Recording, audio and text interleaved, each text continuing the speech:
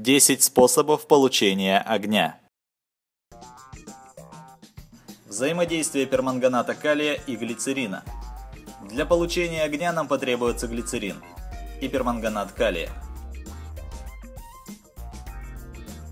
Реакция этих веществ протекает с выделением избыточного количества тепла.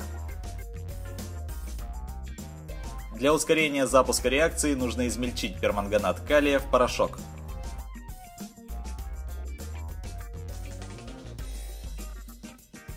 Полученному порошку добавить несколько капель глицерина.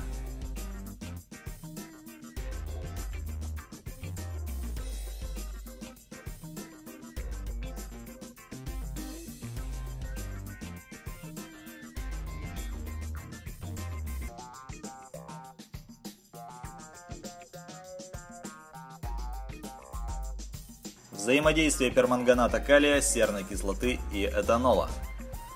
Для проведения химической реакции возьмем небольшое количество марганцовки. Добавим в нее пару капель концентрированной серной кислоты. В результате реакции образуется оксид марганца-7, являющийся сильным окислителем. Для получения огня достаточно в эту смесь бросить ватку, предварительно смоченную спиртом.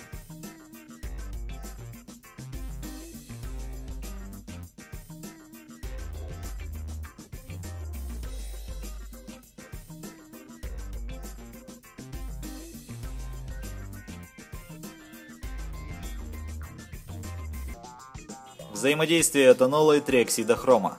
Реакция этанола с сильным окислителем триоксидом хрома протекает очень быстро с выделением большого количества тепла и сопровождается ярким пламенем. В качестве продуктов реакции можно наблюдать следы восстановленного оксида хрома 3 или хромовую зелень.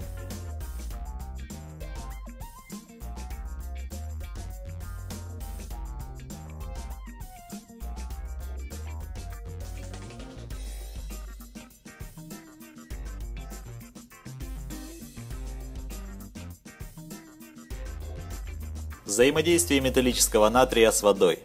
Щелочные металлы являются сильными восстановителями и активно взаимодействуют с водой с выделением водорода и избыточного количества тепла.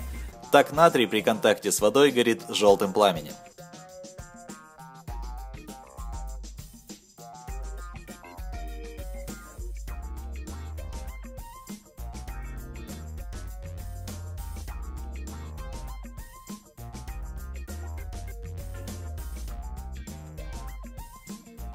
Взаимодействие хлората калия, сахара и серной кислоты. Для получения огня потребуется порошок бертолетовой соли или хлорат калия, сахар, предварительно измельченный в ступке, и концентрированная серная кислота. Для получения бурной реакции с выделением тепла в смесь соли и сахарной пудры достаточно добавить каплю серной кислоты. В результате взаимодействия серной кислоты с хлоратом калия образуется диоксид хлора, являющийся сильным окислителем.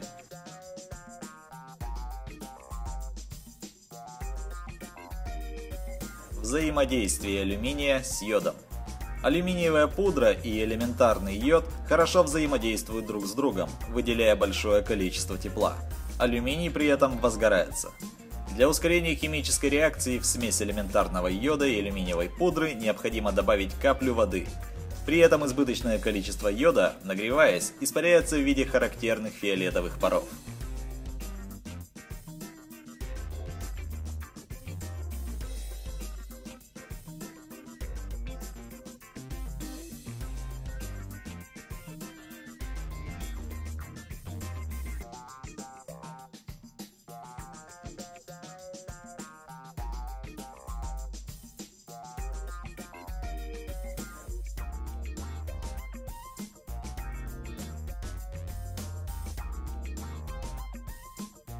Горение ацетилена в атмосфере хлора. Для проведения эксперимента нам потребуется хлор, который можно получить, например, путем взаимодействия перманганата калия с соляной кислотой. Ацетилен, в свою очередь, является продуктом взаимодействия карбида кальция с водой.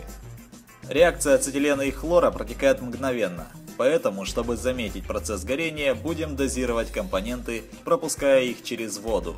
Бросая кусочек карбида кальция в воду, образуются пузырьки ацетилена, которые резко схлопываются, контактируя с пузырьками хлора. Непрореагировавшая часть газа всплывает на поверхность и после накопления необходимого количества реагентов над водой вспыхивает пламя.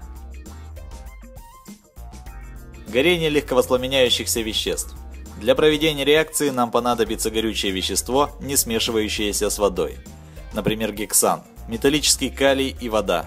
Бурную реакцию взаимодействия щелочного металла с водой, при которой выделяется достаточное количество тепла, можно использовать для поджига гексана.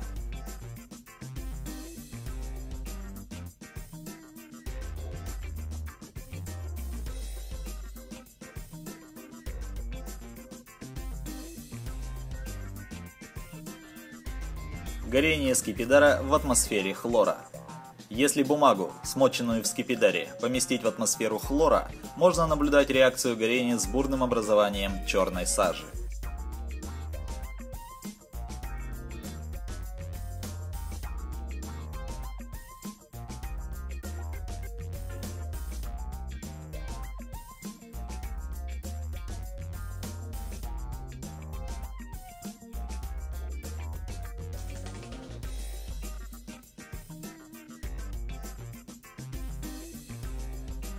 Горение водорода в присутствии платины. Чтобы получить водород, воспользуемся аппаратом Киппа. В нем происходит взаимодействие металлического цинка с серной кислотой. Перед проведением эксперимента необходимо убедиться в чистоте выделяющегося водорода. Для получения огня нам понадобится платинированный асбест.